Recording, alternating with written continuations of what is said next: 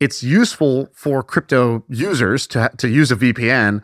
And so that was one of my yeah. ideas, but we sold before we got around to doing that, it. That that would have been cool if you would have done that. That would have been a, that's a pretty cool move. Too bad.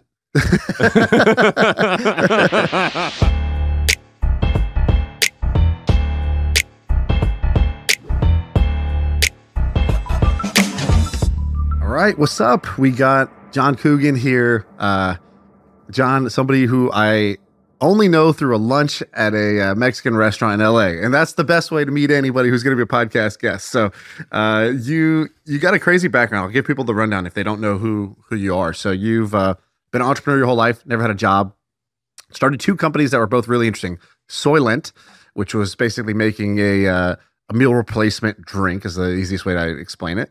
Tasted like the milk of Honey Nut Cheerios, which I always appreciated. And then uh, Lucy Gum, which was like a nicotine gum. Both of them went through YC. Together, they've raised over $130 million. A bunch of good lessons there. Um, you're also an EIR at Founders Fund, which is one of the more interesting places to, to kind of hang out or be a part of. And uh, like us, you've made the mistake of leaving entrepreneurship to just be a YouTuber, and this is great. So you know how to make content too, which is which is amazing. You make really awesome videos. Uh, Sam was sending me one this morning. Sam, you like his stuff, huh? I love it. Yeah, I like your stuff, John. I uh, by the way, Shaan, I'm an investor of Lucy, so I got to get that out of the way. And probably but, a user uh, too uh, at one point for sure. But I mean, I think you did invest like four years ago. So uh, you know, the fact that I haven't been on yet, I think I earned my stripes by posting on YouTube, playing in the content world. You know, what is your guys? I don't even know. Can you say what the valuation is? I think I invested twenty five thousand dollars at a ten million dollar valuation. And ten, yeah, you were probably in like the seed round, and now the company's worth like 60, 70 mil. All right, on paper, I've made a little bit of money. yeah, not bad. We had, I think we could tell the story. We had one of the other co-founders of Lucy come on the pod once, yeah. and this guy, we had met him at a at some like event, maybe a hustle yeah. event, so, some some nighttime event, yeah. and this guy was holding court. That was Dave. Dave, yeah, he was telling stories. There's five people around him. He's got ideas. Uh, you know, he's like, oh, there needs to be something called Pleasure Island, and it's a place where you can just go sin. And I was like, wow, who is this guy? What is he talking about? And he's telling stories. He's amazing. Everybody's just in, in captured by this guy. I'm like, we gotta have this guy in the pod. He comes on the pod, tells none of the stories and none of the ideas. He's like, nah, nah, I don't want to tell all those on the pod. And we were like, dude. And so I don't even think we ever ran the episode because he refused to tell the good stuff. So John, will you make the same mistake as your pal? Absolutely not. I mean, I, I, I do think a lot of founders have a ton, just a ton of scar tissue built up from like the last ten years of like the media just going after tech founders and like tech bros, programmers. Like it was really aggressive for a while there. Like anything you said would be like taken out of context, totally. putting some clickbait. But now that Elon bought Twitter and kind of just like caused enough chaos, like you can just say whatever you want and there's like no I, I have been telling every every founder I know like cancel culture is over like don't worry about things just say whatever you believe so we're gonna do some of your philosophy okay. some of the the philosophies like cancel yeah. culture is over but first let's yeah. run through the background here because both of these startups normally we try not to spend too much time on the guests with the background but yours both are so interesting um, can yeah. you just tell us uh, you know give us the origin story for Soylent because when this came out, it was a very different idea than anything I was seeing anybody do in Silicon Valley. Nobody was at that yep. time, this was maybe 2012. I had just moved to San Francisco, yep. and uh, you had kind of like Uber and Airbnb, but very few people were in the in the San Francisco venture community were doing like like a like a drink or like a product that you could eat, you yep. could drink um, that wasn't software based and but still was innovative. And so it was like kind of in, in this mix. And I remember Andreessen Horowitz got behind it and some others. And so it was a very interesting thing. And I think it started out of like a hacker house, right? Like you guys had a crazy house, is that right? Yeah, uh, I mean, bunch of funny stories from that. This was the yeah, Warby Parker was like the first e-commerce company to kind of think about it from like a tech first angle. Uh, we were a couple years after them, um, right around the same era as like Dollar Shave Club, if you remember that company. Yeah. Um, but yeah, we met in a hacker house. Uh, my my co-founder and I, we went to preschool, middle school, high school together. Went to college in the same city, and so we move out to Silicon Valley. We're looking for a place.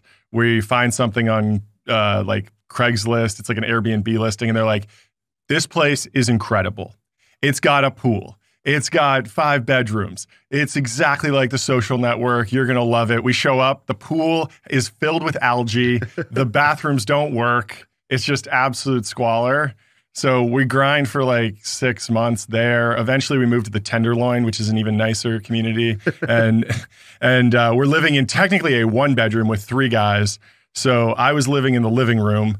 Ano- another guy, uh, Rob, the guy who actually came up with the idea for Soylent, he was living in what was technically a closet because it didn't have a, a window, and we were just we were just hacking. We were just Not a lot of dating going on. yeah, not a lot of dating.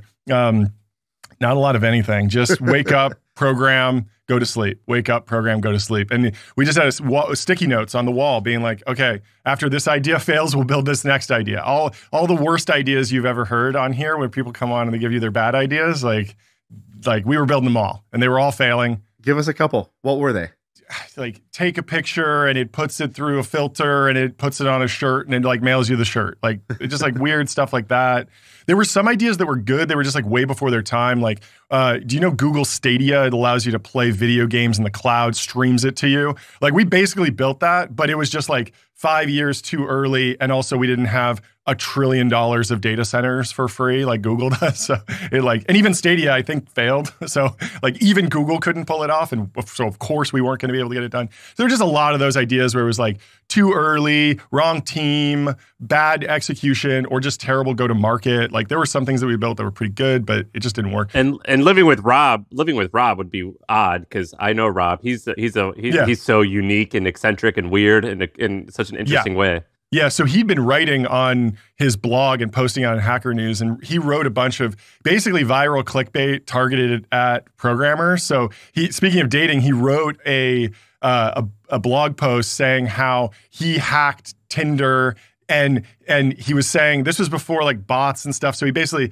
claimed he didn't really do this. It was more just like for satire and for fun. But he said he wrote a script that would automatically swipe right on everything, and then and then generative AI talk to. This was like ten years ago too, but like talk to the talk to the person, and then it would use the Uber API to call them a car, and then it would order DoorDash and deliver the food. And so like it, it, the the the punchline at the end of the at the end of the story was basically like he wasn't involved at all, like, because it was like you know you can you can imagine where that goes. But basically he had he built a little bit of a following on Hacker News, and so when the the question was like, we like building these software companies, we like coding and building stuff, launching businesses, but we are going to run out of money and we're going to have to get jobs. So we need to look at our expenses and understand where are we burning money. We paid our rent a year in advance. I think we were paying fifteen hundred dollars for three dudes to live in the heart of San Francisco, like crazy low money. We owned our laptops, paid our internet bill. Like there was really no cost other than food, and so figuring out how to get food as cheap as possible was like a very logical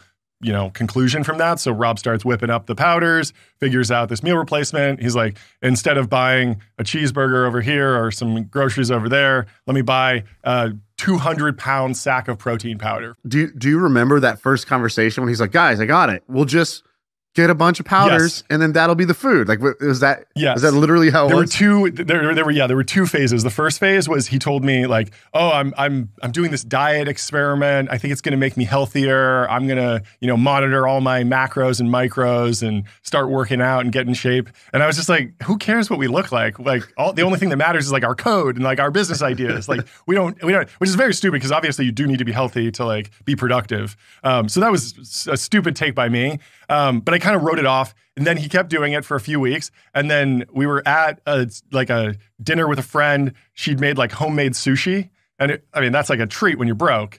And he was like, no, I'm not going to eat. I'm on this Soylent thing. And I was like, this is crazy. It's so I mean it's sort of like the Brian Johnson before Brian Johnson, you know. Yeah, yeah, yeah. It's the stress test. So basically, uh, he told me that I was like, "Do you have a name for this?" And he was like, "I'm calling it Soylent." And I knew the reference, and I was like, "This is genius. We need to sell this today. Like, this is like like this is going to be the market entry strategy. This is going to be so viral." But yeah, I mean, he basically did a stress test. He lived on it for 30 days, and then people would just be like, "Yeah, I, I think this ingredient's stupid, or I think this is bad." But like, hey, if you survived 30 days only on this, like, I can probably take a sip and see how it tastes. And so it created this curiosity. When we launched Yeah. my content company, The Hustle, one of the first early viral video, uh, viral you, uh, articles was I paid a guy two G's to live on it for 30 days while he was running 70 miles a week as like a amateur runner. Wow. Yeah.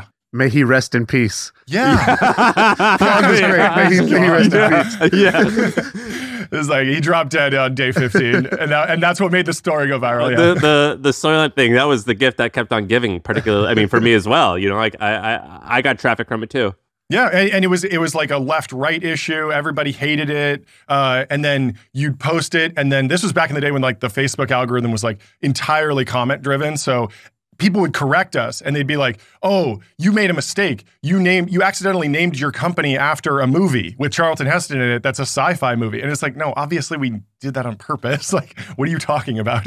But that the fact that there would be that comment and then another person would come in and be like, "Oh, well, there, there's actually this book," and somebody would be like, "Oh, you need to fire your marketing people." Be like, "Oh, I actually got the reference," and then they'd be talking every single time we posted anything. In addition to all the comments about, "Is this good? Is this bad? What, what does it mean for society?" So just massive viral fuel. Any any article went viral, and so we were able to kind of trade up the chain and go from Vice News to you know the Hustle to BBC to the New York Times, New Yorker, and then eventually Rob was on the Colbert Report with sitting next to Stephen Colbert. It's crazy. Well, it, it's definitely shows the power of a viral product, but also it was my first time learning about Signal. So like I had never bought a fancy watch or a car or jacket or anything, but the first time I was seen holding a Soylent, it was like this crazy signal was going out to the world. It's like I'm in tech. First of all, you know that just by this drink. You don't have to ask anything else.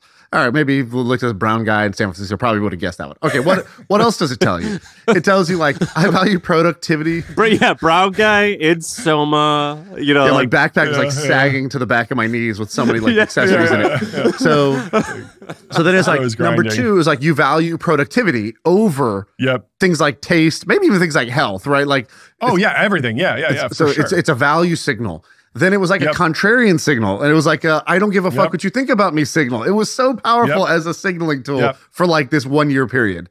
Yeah, but that actually cuts both ways because food is such a signal and there's so much badge value. It's very hard to accrue like monopoly power. And how do you actually go about disrupting Nestle if it if every if every food is like an extension of personal expression, it gets very hard because as soon as everyone is doing one thing, I'm going to want to do something different. And so there's this constant like ping ponging in these products. So it's very very hard to create like one brand to rule them all. You said something about Peter Thiel uh, talked to me, and for one in one hour, he diagnosed everything that would go wrong in my business. Was that about Soylent? Yeah. What did What did Peter tell you? Yeah, I mean, we went in for like the pitch and sat down and did like kind of a working session. And uh, I mean, now everyone knows the framework because he's written the book Zero to One. It's it's like incredibly popular. Everyone kind of knows that you know the the way venture back companies accrue value is through moats, the development of moats, and you know the Hamilton Helmer has the powers framework. Peter has you know different um, d- different theses around this, and and we know the basics. It's like you know brand, intellectual property, complex coordination, scale economies, network economies, right? Uh, network effects. And so, but at this time in 2013, everyone thought that there would just be a magical network effect that would show up. And that's just not true. Like, so there was this weird dynamic where, you know, a lot of investors that we talked to were like, oh yeah, like you don't need to advertise. You can just like, like the people like it so much that they'll sell it to each other. And that's true in a multi-level marketing scheme but it's not true if you don't build that infrastructure to make that happen. So we never we never rest- achieved like escape velocity there. And he was just kind of like yeah like this is just a widgets business. Like run this like a you know any other business. Like you need to sell. Like you have product market fit which we did. Like you just need to maximize you know your like like run the playbook of you know market bring the customer in make sure you're bringing them in cheaper. He, he was basically like this is a great lifestyle business guys. Congrats. And and then we raised a bunch of venture, and it was a disaster. What was your peak? what was your peak revenue? Like almost 100 mil, almost 100 mil. And um, I was reading you guys sold it recently, and uh, yeah, not a good outcome. all right, I was gonna I was gonna say no disrespect, but the outcome sucked. Yeah, like yeah. for for how compared to the hype and your peak revenue, I think it was like yeah. it, it was sold by a publicly traded company. Did I read it was sold for 60 million dollars? Something. I mean, not not a lot. I I I I actually like don't even know the exact dynamics because there's a bunch of other like assets that were like rolled up and it's part of this combined thing. But it was like, sold for you know, like maybe as much or less than you raised. You raised a hundred million dollars. Yeah, think? exactly. Which basically means like the common doesn't get anything. Got it. So you you you didn't get much. You you didn't get that wealthy from it. Yeah, we got a decent amount, but not like what we should have. You know, if we'd maximize the Got it. value of that company. But then you Right. started Lucy. So Lucy is, is cool. Uh, you, are you there full time right now? No, I'm like one day a week at Lucy, um, mostly helping out with stuff like this, doing content, and then ideally like brokering deals with other content creators. Like we want to do more. We being Founders Fund. Uh, no, no, me being the the we, we being the Lucy team. Got so to give some background, you know, Soylent is this nutrition product. Uh, we run that for four or five years, and then Lucy is a uh, nicotine gum brand and nicotine pouch brand. So if your viewer, if your viewers are familiar with Zyn, uh, you know we're a direct competitor to Zyn, but we differentiate on flavor, strength, and a couple other. Dude, I'm a I'm a all day every day type of Zyn guy.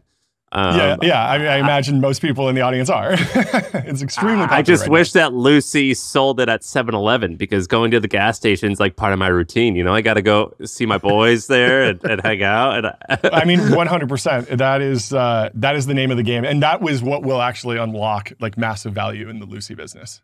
One hundred percent. People should know that, by the way. When you when you email Sam, you're like, "Hey, I know you're a super busy guy, and so I'm going to keep this brief."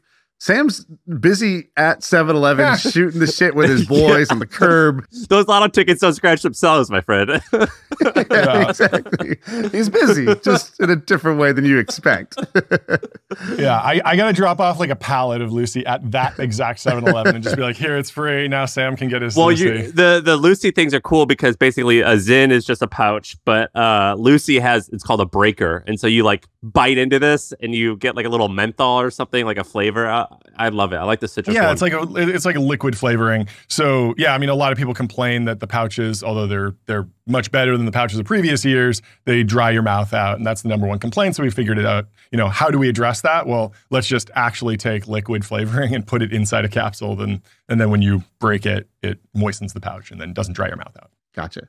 All right, and let's talk about ideas. So those two ideas you did, I would say, are in the like top one percent of weirdo ideas, which means I love it and I love you. Ah, What are your other weirdo ideas that you're not doing? Uh, you sent us a couple of bullet points, but ex- explain them. So let's let's run through some of your ideas. Yeah, I mean, I think the first one that would be interesting to talk about, just because you know you guys are obviously creators as well, is um, just this idea of a creator-owned VPN. So we've seen that VPNs might be the number one advertiser on YouTube. I don't have the exact stats, but anyone who's listened to a podcast or you watched a YouTube video can probably name five different VPNs.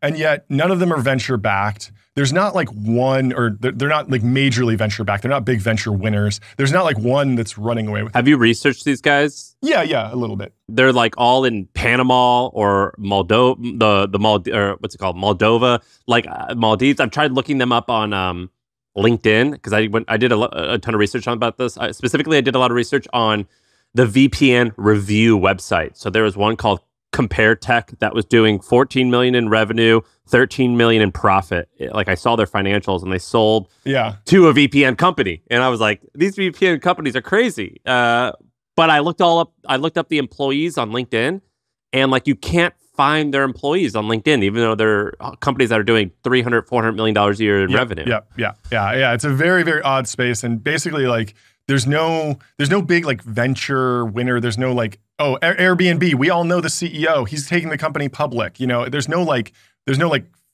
front facing company that's like, oh, this one's winning and going to run away with it. It's more like there's a bunch of them. They all print cash and there's not really going to be one winner because there's no network effect. Again, it's uh, it's it doesn't have a big moat. The moat is marketing, and that's why they all spend on marketing, and that's how they differentiate. Is just you check all the boxes How big are they? e- easily, easily in the billions um, for, for for the aggregate industry. And like you said, you, you, there's certain that are doing there's certain VPNs that are doing hundreds of millions of dollars of sales. And so the name of the game is just check all the boxes so that no no VPN reviewer who's independent can like take you down and be like, there's a fatal flaw and do not use this VPN because I know for a fact that it doesn't do the right thing. But once you've actually implemented all the features where yes, we do, we check all these boxes, then it's just a marketing game. And that's why you see them advertise. Is it just a commodity? Like with with I I don't know much about the VPN tech. Like is it are, are, are, is it uh, terribly complicated? it, it is complicated programming wise like it's it's it's somewhat complicated to write the code i guess but it's not complicated from like understanding the features that the customer wants you're not trying to create some sort of And you, you called it Beast VPN. So what's your business idea here? I, yeah, I called it Beast VPN.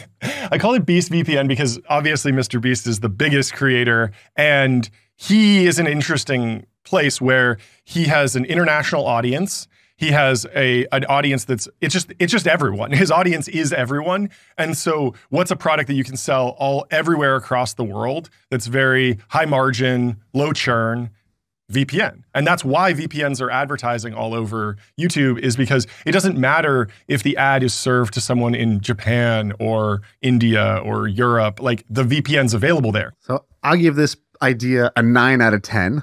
Uh, nice. what I like about this idea go. is exactly what you said. It takes the weakness of creator businesses, which is you get a bunch of low value kind of uh, subscribers might be like you know some the value of a random subscriber in India or a random subscriber in Croatia.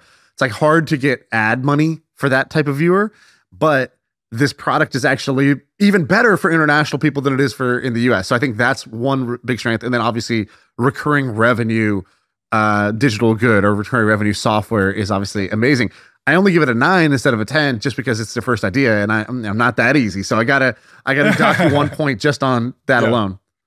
Also, to be fair, uh, it might make more sense for like a Linus Tech Tips and an MKBHD to do this because they're more of like tech people. We were going to do this at Milk Road actually. When we built Milk oh, Road, wow. we were like, okay, cool, we're making money, we were profitable on just newsletter ads. But I was like, what's the best product we could do? I was like, what if we did a crypto, a, a, a VPN for the crypto economy? Because we're at that time we're you know one of the more trusted brands. We're like it's kind of a commodity software. It's useful for crypto users to to use a vpn and so that was one of my yeah. ideas but we sold before we got around to doing that, it. that that's a good idea. That's a good idea. You should have that would have been cool if you would have done that. That would have been a, that's a pretty cool move. Too bad well, they still the guys still own Milk Road, so I, we, we still own a part of it. I'm going to tell yeah. them after this and be like, "Hey guys, let's revive yeah, this." I mean, idea. the main thing is that you just have to have the the distribution. You've listed uh Linus Tech Tips on your. You said, "Do you know this guy?" Well, no, I yeah. just saw him. So you said that. Oh, okay. uh, what, what's the guy's name? Marquise. What's the guy's? What's his channel? MKBHD. Marques yeah. Brownlee. Mark, yeah, I like him. Everyone knows him. Uh, he's cool. This guy Linus Tech Tips has 15 million He's subscribers. Yeah, oh huge. my god. What and like he, I mean he he I, I, he has a team that's like, you know, I, I think over 100 people. Wow. Multiple channels, podcasts, like everything. He actually built his own like media platform where you can like go in and watch videos and and talk to each other. It's like a forum site. Didn't he's, he just release like a screwdriver and sold like five yeah. million dollars of a screwdriver or something like that? Yeah, I'm sure. He, I'm sure he did great on that. The question is like, would he have done better if instead of buying a screwdriver, which needed to be bought probably locally or it was really right. expensive to ship internationally, he sold something that was recurring software that was 99% margin. a VPN. The only thing is that, like, honestly, the screwdriver is cooler than a VPN. So, you know, I can't fault him because the screwdriver is like you get to build, you're a hacker, you get to put your PC together. Like, that's fun. VPN, it's it's a little boring. I use a VPN though. I like VPNs. All right, what you got? Second idea. Yeah. So, uh, uh, the obviously Americans love guns. You're an American, you own some guns. Uh, that's not changing. We've seen through you know the past few decades that like like real like restrictions on guns are not coming, and so the business is probably pretty durable. We've seen that the the stocks of munition companies are doing fine over the last decades. Um, but the price is increasing. A lot of that's just due to supply chains, but there might be some more structural issues. Also, just more people are hunting, more people are are buying guns and buying ammunition, and obviously shooting is just a fun hobby. So the the it, it, over the last three years, the price of shotgun shells went from ten dollars to sixteen dollars. Pretty big increase, and there's this massive shortage. So the the idea here is basically like maybe you need a new um, maybe we need to bring some uh, some efficiency to the ammunition supply chain. And i think it's an interesting idea.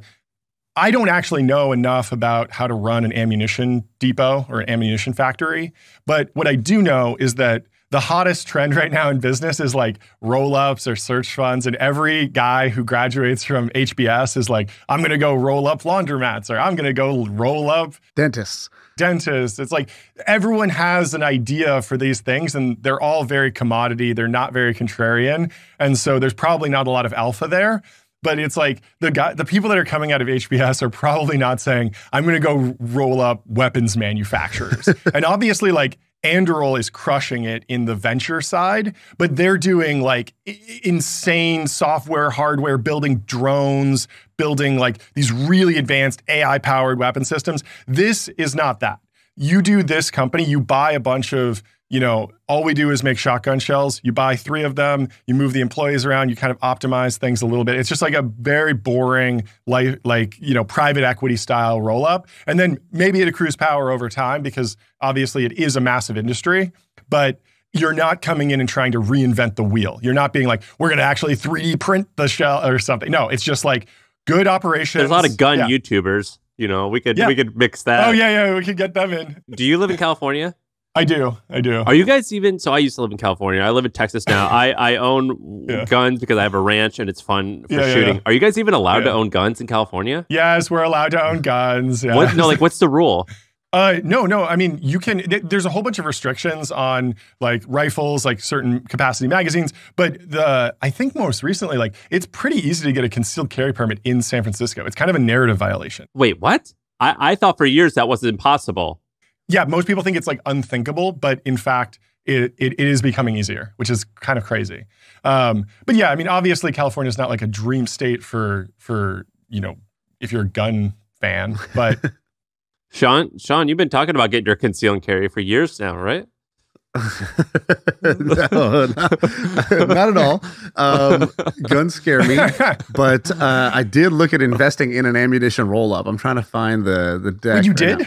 That's hilarious. Uh, yeah, we got introduced to somebody who was doing it, and I was like, oh, I kind of love this idea, but it was so far Yeah. field uh, Sure. out of like what I'm used to investing in that I was like, and, I, yeah, and yeah, I didn't yeah, know the yeah. guys. It's like, who was how do you know? Yeah, how do you know that they can actually do the due diligence? Like, if you can't do the due diligence, exactly? I don't think I would touch this. I, I wouldn't touch this either. Why? I wouldn't want this in my obituary that I, you know, even though and I and I and I I understand how that's hypocritical. You know, I criticize Shaan because Shaan wants to like invest in OnlyFans companies and I'm like, I'm not touching Sure, that. sure, sure. But at the same Yeah, time, I consume porn. So like there's definitely Sure, like sure, a little bit of uh I, I acknowledge the hypocrisy. There's like cognitive yeah, dissonance. yeah, yeah, But like, you know, I guess I guess, you know, it doesn't have to be black and white. It's shades of gray. And like I I prefer to stay on the whiter of the of that side. yeah, yeah. I mean, that's totally fair, and I think that's why there might be alpha in this area because I think Yeah. that Dummies like you, Sam. That's what. That's where I, why this opportunity exists because that made no sense. It made tons of sense, dude. What are you talking about? You're like, I love guns. I enjoy them. I buy them. I'm buying. I'm buying the ammunition, but you know, I don't want to support. I don't, I don't want to invest in it because only bad people would buy it. Like, what does that mean? No, no, I didn't say only bad people. I said I don't want to own it. I didn't say I say that I I buy the stuff, I use it, I think it's very enjoyable. I love shooting for fun, but that doesn't mean I want to make it my career.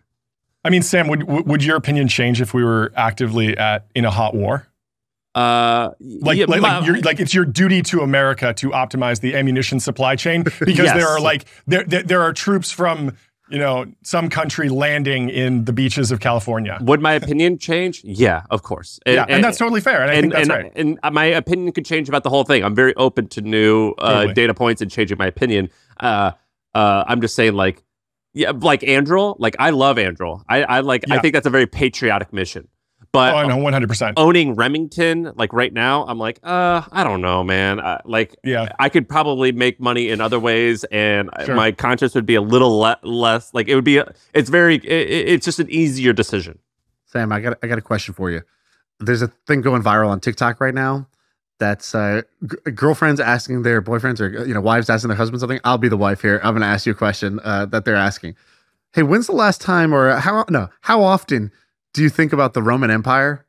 Anything to do with the Roman Empire? Oh, all the time, a lot. like, Well, like uh, why? Under what circumstances would you need to think about that? just like uh like gladiators and shit just like battling to the death in front of everyone When's the last time you thought about something like that? Like this week? Uh, last night I mean, the, the, the funny thing here is that like the the meme immediately before that was like the in the arena meme, and everyone in tech was posting literal like Roman Empire gifs That's because true. That's true. everyone in tech is like obsessed with the arena. And I know that there are two separate communities. Like that's not why the meme popped up, but it's like yeah, it's so funny to see all these women are like they're like they they see somebody ask the question, the guy answers some exact almost Yeah. verbatim what Sam just said. Always, Like, always. It's like I'm thinking about it right now. all the time. Yeah, like what do you mean? Of course. Yeah, And then- my wife has a video of that where she, I didn't know about the meme, and she takes out her phone, and videos me, and is like, uh, She "How asked you do you think about the Roman Empire?" Yeah, and I was like, "I'm thinking about it right now. Why? How'd you know?" and then all the comments are like, you know, that make you know that's crazy. And then they come back, reply like, I just asked. He said last week. He said he thinks about it twice a week. like, yeah, yeah, and yeah, like minds are being blown. They're like, I can't fathom why this man who doesn't take out the trash on time, who forgot to pick up our daughter from preschool, why he is thinking about the Roman Empire twice a week. Dude, I think about 9 11 and World War II like 90% of my day. Like, the, the, do you guys not think, like, what would I do if I was on that plane? Oh, all the time. You know what I mean? Like, All- I all- think all- about all the that time. constantly. I think about that constantly. Or, like, It's just a very normal masculine urge. it, like there, there's this joke, Shane Gillis, he's like, just so you know, being obsessed with history, particular World War II, is a precursor to becoming a Republican. Uh, like, it's not going to happen so true. today, but like, you know, it's early onset. Early Uh, onset yeah, yeah, yeah, for sure. Wait, Shaan, you don't think about like World War II like on a regular basis? No, but I have my own version of it, which is like I'm constantly like I if I walk into a place, I'm like assessing how if I had to, how would I like rob this place? Or like if, Oh, if some shit went down, like what's the move? All right, what's the move? Okay. There's some sort of like masculine daydreaming that happens. Like my buddy David, like he he imagines like ninjas coming through every door and window and how he would like take them out tactically. Like that's his. Dude, like, every time. I'm in a baggage claim, I- I'm like Yeah. I could take any of these bags right now and just walk out. There is no security in this place. Are you kidding me? Like the, the baggage Yeah. claim, I, I will never get over that. Why it's so easy to just take anyone's bag. My wife and I go out to dinner, we have like a rule: Sam's back does not sit to the front door. I have to see No, the yeah. front door. Like you know, like Yeah. I can't have people coming in without me knowing. I, I've got to see Yeah, the yeah, front yeah, door. yeah. I do think it is a man thing. You know, uh, John. We there's this funny quote Scott Galloway said. He goes, uh, um, "You should exercise so you can kill and eat most everyone in a room, or be able to outrun them." Uh, and that's like at, at its root. That's kind of like what we're talking about right now. Yeah, yeah, yeah. One hundred percent. Very natural urge there.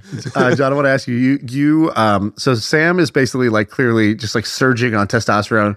You uh, are EIR at Founders Fund, which is, I remember at one point when they were talking about PayPal, they said, uh, oh, you know, Max Levchin interviewed some engineer back in the early days of PayPal, and then he was like, no, no, can't hire this guy. Like, what? He passed everyone else's test. He's like, he plays basketball. I don't know any great programmer who goes and plays basketball three times a week. That's not a thing. And so they were like very anti jock. Um, do you get to hang out with the Founders Fund people a lot? Like, do you hang out in person at all? And what's that like? Because seems like a room full of very interesting, very different people. Yeah, it is. It's uh it's oddly they've done a great job of not creating a monoculture in a very small organization. So yeah, there are definitely like complete jocks. That I mean, obviously we know Keith Rabois is at Barry's like five times a day. Yeah, I don't know if I would call Keith Rabois a jock, uh, but uh, like why? But he's why- like a workout nut. He's a fitness nut for sure. Yeah, but berries. yeah, he- he's not trying to be the best at sports. You know, he's trying to be the best at exercising. Why is that Okay, guy? okay. Why? No, I'm just joking. But why is that guy? Why is Keith Rabois such a dickhead on Twitter? like, why does he behave that way? He's he's like needlessly rude. I think a lot of it is just like holding the line on like i- like when he sees something that's like not true, he doesn't want it to spread, and so he just like shuts it down like really aggressively. Yeah, he's like put it. He's like he's put his flag in some silly things like Miami. So it's like if Miami doesn't work, it it's like gonna hurt him, and it's like you know it doesn't have to. You know, you you, you could love it, and also it's not the best. a lot of these things are, you know, I think learned behaviors. I think everyone in tech is somewhat like like just injured from the past like For sure, it's very obvious. of just getting like just beat down for every little thing. And so a lot of people have put up walls.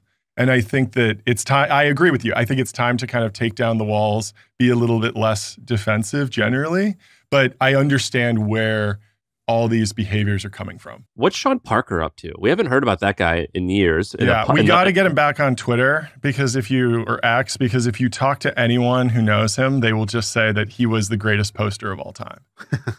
Who's the best on Twitter now? I mean, probably like uh, Rahul, Ligma, Daniel Johnson, like those type of guys, right? Like, uh, do you guys remember that publicity Yeah, stunt or that stuff Yes. that they did? They fooled CNBC into reporting that they were Twitter employees that were fired. It was very like that. That's just like you know. Those guys, um, they're like doing a normal startup. They're like building some Oh, yeah, dev yeah, tool. Yeah, no, they're not like comedians. They should have just gone all in on like, oh shit, we need to just create like this sort of like um some version of punked or like uh, you know something for the tech industry. They should have just gone all in as personalities. I would have dropped the startup like six months sabbatical on the startup. I'm just gonna see what happens if I fully troll and like maybe I could be the thing that the community needs. Dude, Rahul Ligma still makes me like spit water out my nose when I hear that. it's it's so funny. It's so funny. Um, yeah, I don't know. I mean, how would you monetize that if they would you just be doing stand up? I think you feels would like get silent donations from billionaires. I've seen that guy. oh yeah, maybe. and he only hangs out with successful billionaires when I've seen him in person. Like, because everybody who was big in tech loved that troll. Elon loved it. Uh, you know, like the the all in guys are like, oh my god, it's the best, it's the best. I feel like they could have a Patreon of billionaires only that just fund them to like do statement art. Uh, you know, like comedic statement art against the media, against the local politicians, against whatever. That's what I would have done if I was them. that's maybe that's not a bad idea, but I don't know. I, I like it seems like they're pretty legit at what they're doing. they're like actually good programmers. I can't find this client info. Have you heard of HubSpot? HubSpot is a CRM platform, so it shares its data across every application. Every team can stay aligned. No out of sync spreadsheets or dueling databases. HubSpot, grow better. you have um, a thing on this document that I want to fight you about. yeah, yeah, yeah. I knew this. I was good. You're good. the, the- here's the so John sent us this document. He says unique philosophies, lifestyle businesses are worthless. What do you Make your case yeah before we make you walk the plank. yeah, exactly. Yeah. Uh, no, no. I, I, this is mostly just like let's have a fun debate because I'm like, you know, working at a venture capital firm, and I can kind of represent the VC crew, and you guys are like the kings of like the lifestyle business. So we aren't the kings of that, by the way. I want to be the king of it. Actually, I, I actually will accept that compliment. I, I don't mind being the king of it. What I'm saying is, Yeah, yeah. I think that we are one of the very few kind of content creators. you pay po- proper respect to it. yeah, I th- what I'm saying is, we we, Yeah. we we we do both. We think both are cool. That that's I. Th- there's very few people I think that are in the middle, and I think we are in the middle. Yeah, yeah, yeah, yeah, yeah. That's fair. That's fair. Um, and so yeah, ba- basically, the, I I think the point is just that uh, lifestyle businesses are great. Define that. So I would say uh, I I would say like non-venture backed, non-blitz scaling, non-hyper scaling, non-monopoly, something without a crazy moat where it's just like you go and work at it and maybe it gets really big and maybe you wind up being a billionaire, but you didn't you didn't like do this growth at all costs insane thing. And what's hyper growth? Uh, two or three times a year. I mean, sometimes 10 times a year, right? Um, it depends on the scale. At the early stages, it goes really, really fast. But I, I'm specifically thinking of like Facebook, right? I'm specifically thinking of the power law outcomes in venture. And my, my point is that basically only about 1% of companies that get started raise venture capital, but about 99% of the market cap in the public markets, they took venture. And so venture has this very like as, like like disproportional outcome. And I believe that that the bigger the company, the bigger the impact on the world. And so if you want to have a really really big impact, you should actually be trying to raise money, grow very grow very quickly. Like you're not going to build a hundred billion dollar company compounding at two percent a year, five percent a year over your lifetime. It just won't happen. All right, let me play the other side of that. Please. Your analogy of well, okay, so you're saying one percent. Uh, or 90, uh, 99% of the value is created by the 1% of companies that raise money. Yep. But that to me is also saying that, like, look, um, 100% of the soldiers on D Day who ended up uh, killing like uh, the Nazis that ended that battle, they had to land on that beach anyway, right? So you might as well land on that beach. And I'm like, yeah, but the other ones got like fucking killed and destroyed. How about I just like not worry about killing Nazis and like I can just Yeah. like start this little thing on the side? You know what I mean? Like it's like it's like dude, like this whole thing with like VC, it's like you're funding all the uh, you as the investor are Yeah. funding all these companies and you're like, dude, I don't give a fuck which one of you dies out here because I know one of you is gonna like make me my money. And so, from my perspective, I'm like, yeah. So if I can get rich at with a higher likelihood, which is maybe uh, in most cases the number one reason for starting a business. In not most cases, like other cases, it's like the number yeah. three version. Let's say your number one version is like I want to like create change. Getting rich is still up there. So like yeah. if like if you can get rich and create value and have fun and work for yourself and have a higher likelihood of doing that, why wouldn't you go that route? So, so the reason I think you shouldn't go with that route is because I think your overall impact on humanity and society and the world will be lower if it if it survives. Yeah, th- th- this whole question of would you rather own 100% of a $100 million company or 1% of a $10 billion company? I don't even think it's a question. Obviously, the $10 billion company, because the $10 billion company is having a much larger impact on the world. That qu- that's, that's not an obvious answer but no, no, no, it's it's not. It's not. For for a lot of people, they say I would rather have 100% and be able to go on vacation and you know chill and just have these cash flows come directly to me and not have to deal with like you know all this other stuff. And I get that, but my point is that like I believe that humans have a duty to each other to go and have the largest impact possible, and that is often done with the backing of venture capitalists. I don't think you believe that. Yeah, I do. Wouldn't you not be like uh, curing cancer instead of selling nicotine gum? Like, let's yeah. uh, let's yes, be honest here. Yes. Uh, oh, well, I mean, that's hilarious that you use that as an example because that's like the actually the best way to stop lung cancer is to get people to switch, right? yeah, but don't let facts get in the way of a good uh, argument. but, but but but but but I I will actually synthesize this for you, and I think we will agree on this point, which is that what you should actually do with your life is pick the hardest, most interesting, most value creative problem that you are equipped to solve. So, can I create a cancer curing drug? No, I don't have that background. It's not an option for me. So, I would fail if I went into that industry. But I should pick the most ambitious thing and the best idea that I have. And then I should be very rigorous about whether or not that idea is appropriate for venture capital. And I think that if Mark Zuckerberg didn't raise venture capital, his company would be dead. And I think there's a lot of companies. I've been a part of some of them where we raised we raised VC for for a company that didn't need VC, and it also killed the company. I think so. Basically, you have to you have to pick the best idea that you're equipped to solve, and then decide the financing strategy that aligns with that. And there's no one size fits all solution do you wish you would have done a different idea instead of Soylent, or do you wish that you just hadn't taken VC and you got wealthy? Oh, I don't know. That's interesting. I mean, right before Soylent, I was working on natural language generation in 2013, which is like the hottest trend now. And so if I'd probably just like stuck with that for a decade, I'd probably be doing something cool right now, maybe. you, I, I think that you would have been more impactful if Soylent hasn't hadn't raised and you had gotten rich and then you would have been able to like say do like something else? Well you would have been like i don't care about money as much so i'll just do this other crazy thing that is a moonshot. Like i i, I think it's i because I, took a similar argument as you. Yeah. And then uh, someone corrected me and they're like yeah but it's a lot easier to go after moonshot ideas when you don't have to worry about a mortgage. And as someone who had a bootstrap exit i agree. I'm like it's pretty like i understand why founders uh want to take secondary because you are more dangerous when you have 10 or 20 or 30 million dollars. Like you are more dangerous when you don't worry where you're like i'm rich enough that i don't have to worry but i'm not rich enough that i want to stop. Yeah i 100% feel like i'm in that category. Like that that puts you in a dangerous yeah. category i think.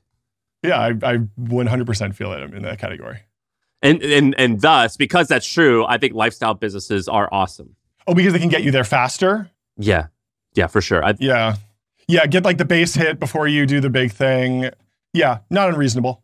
And and I think that's also kind of a synthesis of what we're saying. We kind of agree, but it, that it's like moonshots are good, but but the path might be circuitous to them, right? And there are freaks out there, like an Elon, like a Zuck. Well, I don't know about Zuck, but like an Elon who's willing to risk it all. Yeah, even Elon, like PayPal, could be framed as like less ambitious than SpaceX and Tesla, right? It's like the mission might not be as big. Who knows? Well, he tweeted this out the other day. Uh, and so Andrew Wilkinson had had tweeted something out sure. like this that was like, uh, you know, um, you know, learn to learn to crawl or learn to walk before you run. Yeah, yeah, and he's yeah. like, most most people who want to do a big, crazy, ambitious thing should start by doing a smaller thing, so they learn how to do business and then do you know make things happen and then graduate up. And a bunch of people were agreeing with him. I totally disagreed. I was like, if you know the thing you want to do, you should just go do the thing. You know, the way that doing something before you do your bigger thing works well, I believe, is at first that was the biggest thing you knew. Yep. And then as you did it, your worldview expanded and your ambition expanded and your the set of possibilities you were aware of expanded. And then you went and did that thing. However, Elon did reply almost uh, confirming what Andrew had said for him. In his case, he was like, Yeah, you know, I couldn't have created SpaceX if I didn't have the money and the skills and reputation as I had during Zip 2. And specifically, somebody had said that like they had talked to Elon and he, you know, I don't I don't believe this for the for the record. I don't believe a word of this, but they were like, Yeah, I talked to Elon early on and or I talked to Elon and he said that early on he decided, oh, I want to die on Mars, just not he, he said the following. I would like to die on Mars, just not on impact. Um, and you know, that's like his joke. And then he's like, and I decided the way to do that was I needed a lot of money. Um, and so then I went to the internet just to go get the money quickly, uh, you know, as quickly as I could. I don't believe that to be true because, um, you know, first of all, not everybody is like that much of a mastermind. Yeah. You know, when he was like sleeping under his desk as like a college kid, I don't think that he was like being like, I'm only doing this so that I can amass a fortune to launch three spaceships, uh, you know, to be able to fund three of my own ships. Like, I don't believe that. Yeah. Also, he went and did X after Zip 2. So it's like, oh, if you already, you already had, you know, whatever, the, you know, I, don't- I don't know what he netted. I think like some like 60 or 80 million dollars out of Zip 2. Um, like, I'm, I'm, it'd be surprising to me if he was like, you know what? It's not going to be enough. I need to go get to 250 million. That's the magic number. Yeah, there's a big question about yeah, like like should you ever sell a company? Because if if your real goal in life is to have an impact on the world, maybe the company is the best way to do that. And so you should just continue to run your company endlessly. I mean, you guys, we, we, uh, everyone on this call sold, sold companies. Well, my goal is very simple. Yeah, yeah. What's your goal? you said like if you want to have maximum impact on the world that is not my goal and so it's very easy for me to just be like oh cool i can rule that out i'm trying to have the best lifestyle that i could have that is my selfish and very transparent goal i am trying to improve my quality of life and with Yeah. that comes my family's quality of life with that might come living Yeah. in a good place and being being a happy content person walking around the world is my contribution to society i don't feel the obligation to go save the world but personally I mean, the beauty of that is that like by you will naturally have a positive impact on the world by doing what you do to achieve those ends.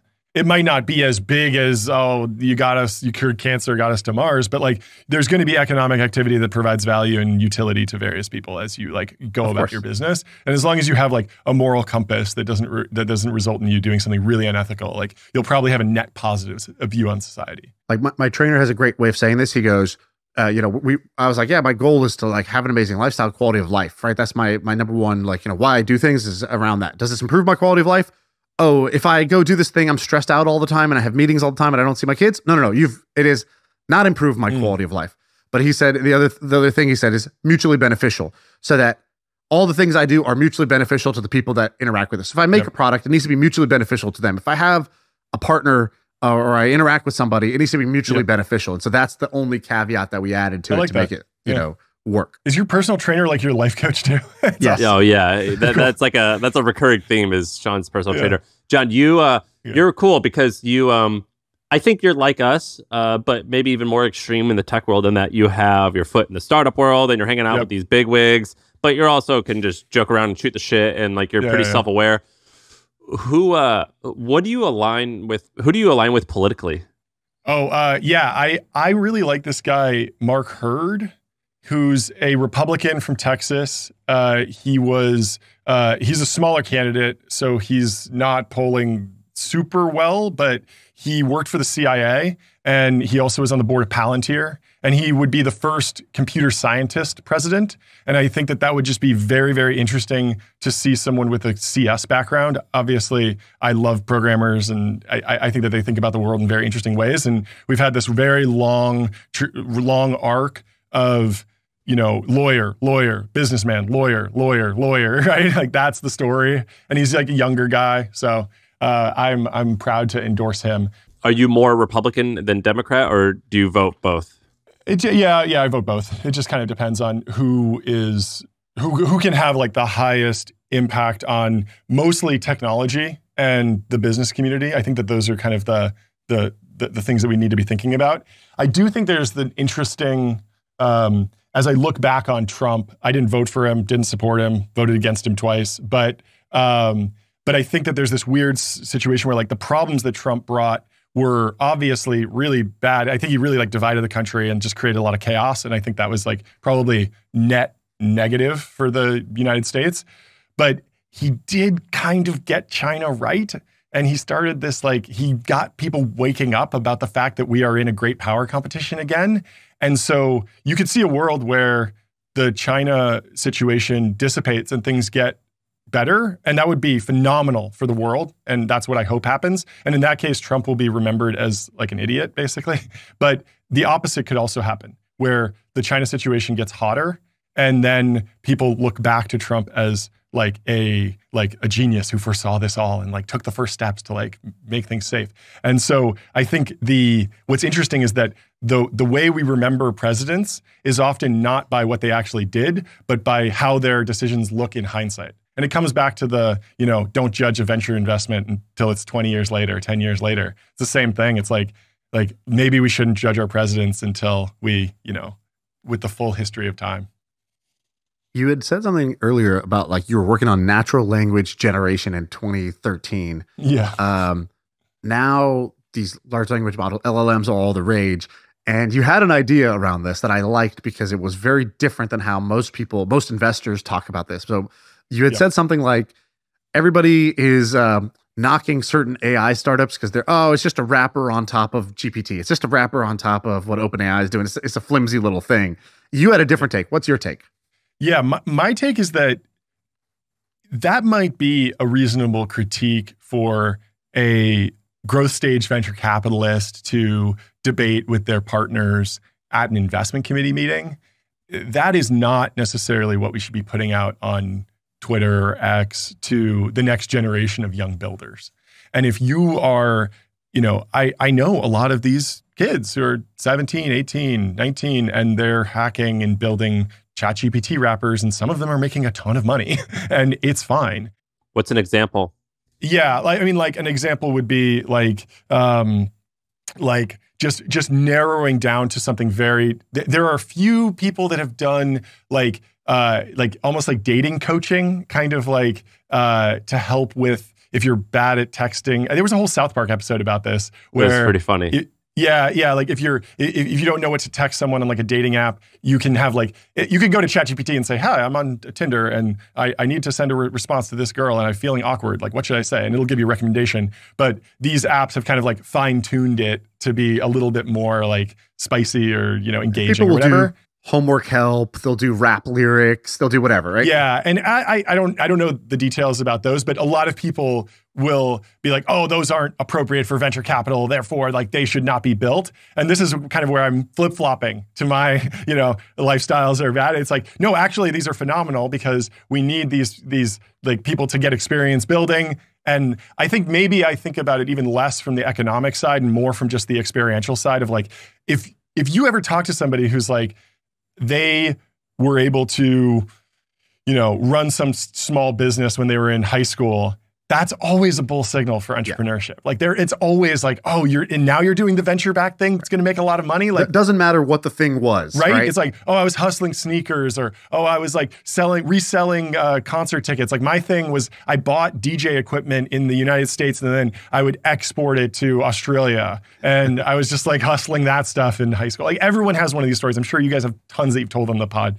Um, but so so basically, with the with the uh, we need, I want the Lensa for ChatGPT moment. So Lensa, for those of you who might not remember, was I don't know what that is. so so it's this app that you would download and you'd upload, you know, 10 selfies of yourself from your camera roll Yeah. and then it would generate AI images that looked like you. So it would be like it that looks like Sam's face, but it's on Yeah. Superman. Or It was like, but it was really like a Russian company. That was that was the rumors that it was a Russian company. I don't think that one was, but yeah, I mean there are some weird like these apps come from all over. I'm not sure about Lensa. Um, I I think I don't I I, I just haven't looked into the company, but and it made a bunch of money. It was like number one in the app store for a bit. Yeah.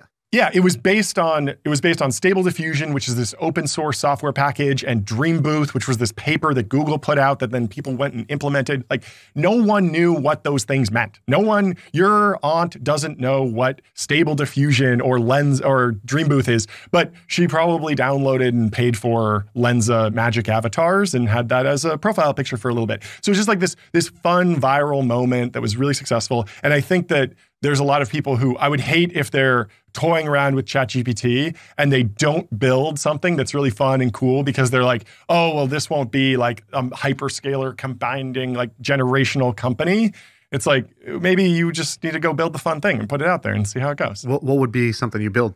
So I have an idea about this, which is basically that um, there's a few things that these that these uh, systems are really good at. You know, obviously there's been huge progress in helping software developers program with GitHub Copilot, which is you know built by OpenAI under the hood. There's also you know just the Google use case. Like I go to ChatGPT all the time, just ask it questions that I would normally ask Google. Um, people are doing a lot of like AI girlfriend stuff. Like you know, Shaan, I'm sure your your next uh, your next big uh, OnlyFans investment will have an AI component probably. But but I think that the that, that one of the interesting things that these language models are particularly good at is something called the Barnum effect. Have you guys heard about this? No. So the Barnum effect is this psychological phenomenon where like I can say a, like something that sounds like it's very specifically tailored to you, but it's actually vague and applies to everyone. So so an example of this would be um, Sam, you have a great need for other people to like and admire you. You have a tendency to be critical of yourself. You have a great deal of unused capacity, which you have not turned into your advantage. Like these things resonate with everyone. They certainly resonate with me. I feel like, yep, yep, yep. but and they feel personalized. It's like astrology. Yeah, yeah, they use this in astrology. And so what I'm thinking is like someone should take the, you know, ChatGPT LLMs and make some sort of like viral personality quiz, viral astrology app, something along those lines that Miss Cleo. Yeah, that ex that that exploits this effect that LLMs are really really good at and then and then uses it. It's just like, yeah, you oh yeah, did you get your personality test? It's like, did you get your Lensa Magic avatars? Like, yeah, I got them. Like, I had to do the in-app payment. It was five ninety nine. It's like, oh, did you well, did you get your custom personality test through this chatbot that's new and going viral? Like, yeah, sure, I did that. I think that's a great prediction. I think that's going to happen uh, very soon. And this we'll look back at this clip and be like, dude, he called it. John called it that that was going to happen. it. it has to happen. Uh, somebody said this the other day. They go, um, they showed me, oh no, they showed me a Steve Jobs clip, and Steve Jobs goes, once this technology happened, um, Yeah. the there was a set of twenty things that were going to happen no matter what. It didn't matter who Yeah. was going to do them; they were going to happen. A series of events were going to unfold once that breakthrough, once that first breakthrough happened, and you just didn't know when and you didn't know who, but you definitely knew that they were going to happen. That's how I feel about this idea. I love it. I'm glad I I'm glad I got the thumbs up on all my all my Yeah, your ideas were, were actually very, very, uh, very solid. You you said you did your high school flipping thing. Uh, you also were a uh, uh, what was it called? Like a, a phone, a I was a telemarketing scam artist. Yeah, Telemarketing tell, scammer. tell that story. We'll wrap on that. Thi- so thi- thi- this is a phenomenal story. What are you like workaholics? Uh, yeah, yeah, a little bit. I I use The Office as a reference point because that is the the default like small business in America. Um, you know, they make a thing and then they ship it out. And so the scam worked like this. I found the job on Craigslist. I show up and I'm wearing a suit. I'm probably 17 years old or something. And I'm like, I brought a resume. I want this job. And they're like, uh, it's not that type of job. Like, you do not need to be wearing a suit. Just sit over there. You're going to call these numbers, call down the list. And when they pick up, read this script. And the script goes like something like this. I probably still remember it by heart, but um, it was like, uh, when they pick up, you do not ask how they're doing. You do not talk to them. You just say, shipping department, please. And you want to make it sound like you've been disconnected. Like, I was already talking to the shipping department. Half the time, people are like, What are you talking about? This is a law firm. We don't have a shipping department.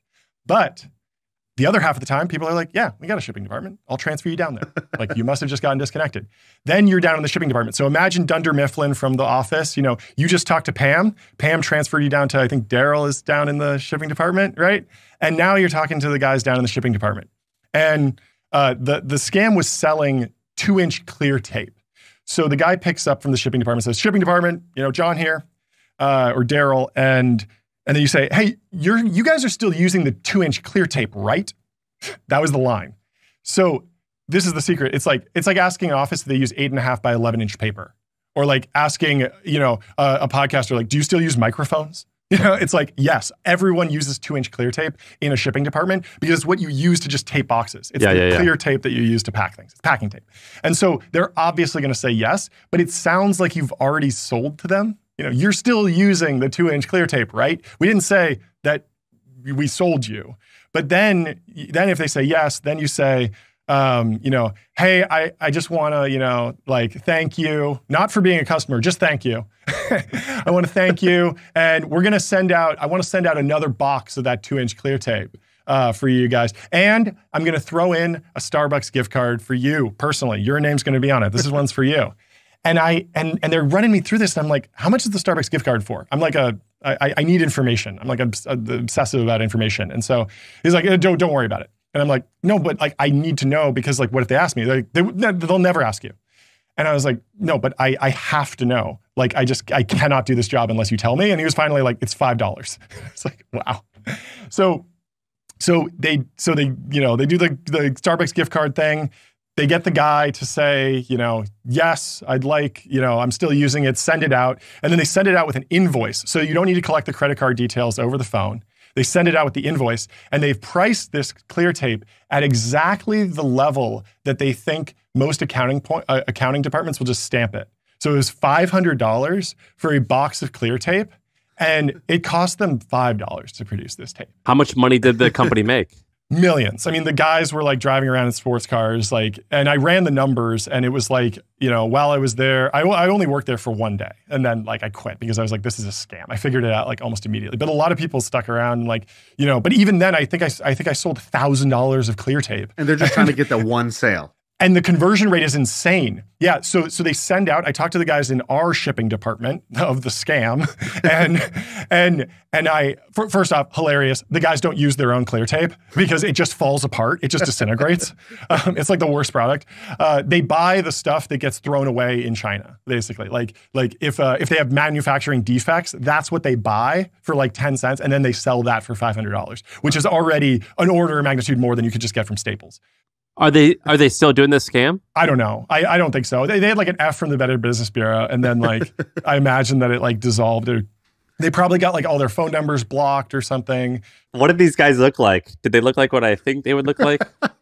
I imagine they actually looked exactly like the three of us. Which is what I thought. yeah, yeah, exactly. I think I think the I think the CEO had your jacket, Sam. He was wearing a black t-shirt like you. Did you drive a black Escalade? yeah, yeah, probably. No, I, I think I think they were doing like Audi R8s. I think that was like the big move. There's some guy It was, like, listening to this that's in a shipping department that just had a holy fuck moment. He's like, "We've been- that We've been goddamn that tape guy who keeps calling me those gift cards. and then and then there's like and then there's like a thousand other people who are like, so how do I get the leads to the Right. shipping company? Yeah. They're Yeah, like, yeah, yeah. I'm in the tape business now, boys. in the tape business. the gang sells tape. this was like one of the funniest things. I, I I ran into a guy who'd worked there a year later, and he was he came up to me. I was at a concert, and and he was like, "Oh, John, like I remember you, the tall guy. Like, how's it going?" And I was like. Remind me where we know each other from. And he's like, Delta Shipping. And I was like, oh, yeah, I worked there for like a day. Like, what's up? Like, are you still there? He's like, no, they fired me. They fire everyone like th- every three months because they need to turn people over. Because as soon as one person finds out it's a scam, they will tell everyone else. It's the same thing with like a pyramid scheme or a Ponzi scheme. Like, you got to like exert, you got to like, you know, get out anyone who knows the truth and keep the blinders on everyone who's there because as soon as as soon as one person figures it out, they're going to tell other people and be like, "Don't you think it's kind of unethical what we're doing?" Or "Don't you think this is like, wh- what if the police come? Like, would we be in trouble?" You know, and then that scares everyone, and then the whole thing, the whole well is poisoned. So I'm like, "Oh, you got fired? Like that's I'm sorry, man. That's tough. Like, what are you doing now? Hopefully, you got like a better job." He's like, "Yeah, I'm selling drugs at this concert." I was like, "What?" and he just like Right I've never heard anyone like so proudly tell me that they're like a drug dealer. But I was like, okay, like Step know, up. I'm not into that, but I have some friends that are. Like, let me make a deal. That's amazing. you uh, tell people what your YouTube channel is, and also tell us why are you doing YouTube. You could be going out there building another business, but you're like us, you're creating content. So tell people what the channel is and why you do it.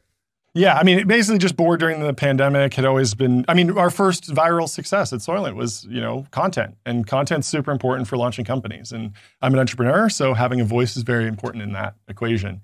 Um, my YouTube channel, you can find it just John Coogan. Search there. I also have a podcast now, PowerLaw.fm, Powerlaw, hosted by John Coogan. Um, not an interview show. It's just kind of deep dives on these power law people and companies. These really that's a like, good name and that's a good title. That's a Thanks, good idea. man. Yeah. That's a good so it's it's interesting. It's uh yeah, it's a lot of fun. I just I really like it and um yeah, check it out. And I I the biggest problem with it is that I don't have a lot of focus. I'll talk about geopolitics. My last video was on Doug DeMuro, like breaking down his business. Like I just I'm all over the place. But uh but it's so much fun and like there's clearly value in what we do. Like people enjoy it, makes them happy, and you meet interesting people. We got to have a great conversation because of it, you know? We appreciate you coming on. This has been really fun. You're uh, you're cool, man. We we uh, this has been awesome. We appreciate it. Hey, we, and we don't have a lot of focus either. Look, we went from scams to who are you going to Yeah. vote for to guns. to- it's the dream, you know? man. It- this is I, I this is like you your your audience. You won't be perfectly optimized, like oh we're like the best ever, but in terms of the lifestyle, like we all agree, like this is the way to run the content machine. Don't Yeah, don't go too crazy with it. Well, thank you. We appreciate it, and uh, thanks for coming on. And that's the pod.